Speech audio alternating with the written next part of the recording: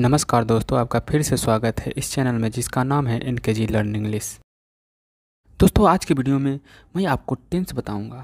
हिंदी में बोले तो काल।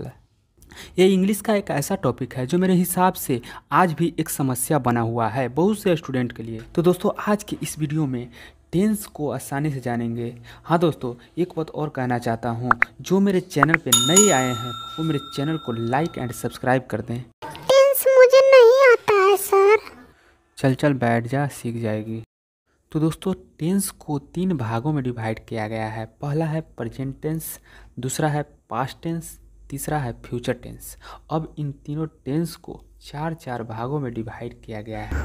पिछले वीडियो में हम लोग पास्ट टेंस को कवर किए थे और आज के वीडियो में हम लोग फ्यूचर टेंस को कवर करेंगे।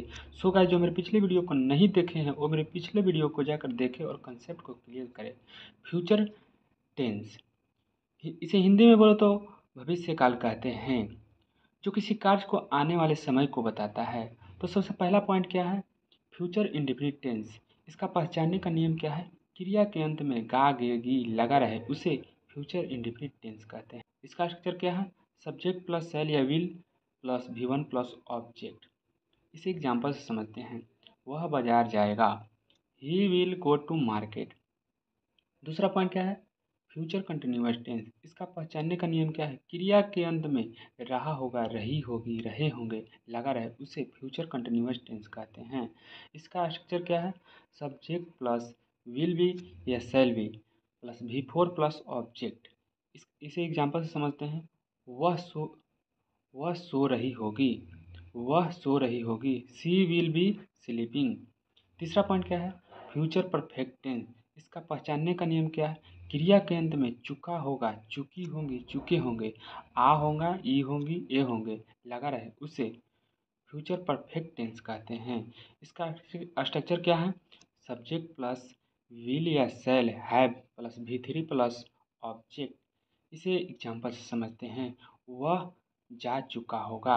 ही विल हैव गॉन चौथा पॉइंट क्या है? फ्यूचर परफेक्ट कंटिन्यूस टेंस इसका पहचानने का नियम क्या है? क्रिया के अंत में से रहा होगा, से रही होगी, से रहे होंगे, प्लस समय। इसका स्ट्रक्चर क्या है? सब्जेक्ट प्लस विल या shall have been plus V four plus since या फोर प्लस टाइम इसे एग्ज़ाम्पल से समझते हैं। वह चार घंटों से सो रहा होगा। तो he will have been sleeping for four hours तो दोस्तों, आज के वीडियो में टेंस को ख़त्म कर चुके हैं तो इसका प्रैक्टिस सेट चाहिए तो कमेंट्स बॉक्स में लिख कर बताएँ। तो दोस्तों, लास्ट में एक बात और कहना चाहता हूँ, मेरे वीडियो अच्छा लगा हो तो please like, subscribe and share कर दें कि मैं ऐसे ऐसे वीडियो आपके लिए और लेकर आऊँ। तब तक के लिए जय हिंद।